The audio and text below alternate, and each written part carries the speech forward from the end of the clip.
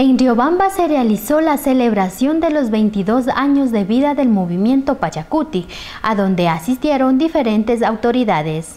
En el Coliseo de la Escuela Superior Politécnica de Chimborazo se realizó una concentración del movimiento plurinacional Pachacutic Lista 18, con el fin de celebrar los 22 años de vida política en el país. Excelentísimo este apoyo y agradecimiento al señor rector de la Escuela Superior Politécnica de Chimborazo, Byron Baca, y asimismo es mi institución donde yo la formé a mis amigos de las diferentes escuelas, la Facultad de Ingeniería Mecánica, que a la cual yo pertenecí. Muchísimas gracias por este acto de solidaridad con, con el pueblo de Chimborazo.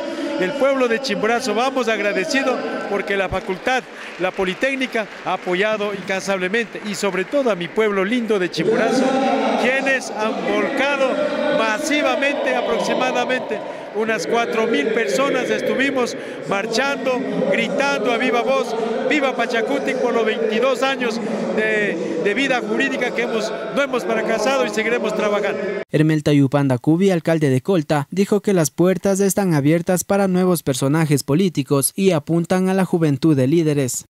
Cansaremos de dar paso a los jóvenes y sobre todo ustedes tienen que caminar para sacar este rumbo.